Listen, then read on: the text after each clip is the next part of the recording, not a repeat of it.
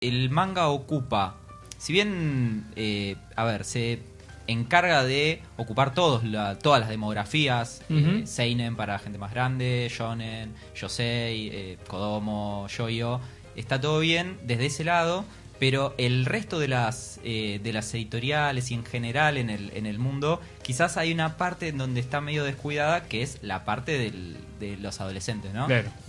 esa la, la tomó toda el manga acá en Estados Unidos, Ujú. en España, en todos lados. Y si bien está cubierto el, el- el puesto, digamos, de historieta para chicos, quizás en Argentina eh, eh, hay una tradición de historieta para chicos, hay tradición de historieta para eh, adultos, la parte de los adolescentes no, y el manga tiene esa particularidad que lo puedes hacer para adolescentes y lo pueden leer chicos y lo pueden leer grandes. Entonces, hoy en día, lo que más está generando lectores jóvenes en, en muchos países del mundo es el manga.